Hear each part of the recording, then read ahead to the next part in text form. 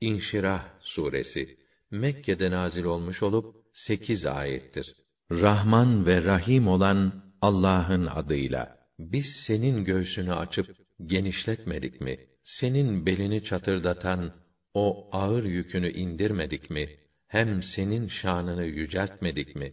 Demek ki güçlükle beraber kolaylık vardır. Evet, güçlükle beraber kolaylık vardır. O halde bir işi bitirince hemen başka işe giriş. Onunla uğraş. Hep Rabbine yönel, ona yaklaş.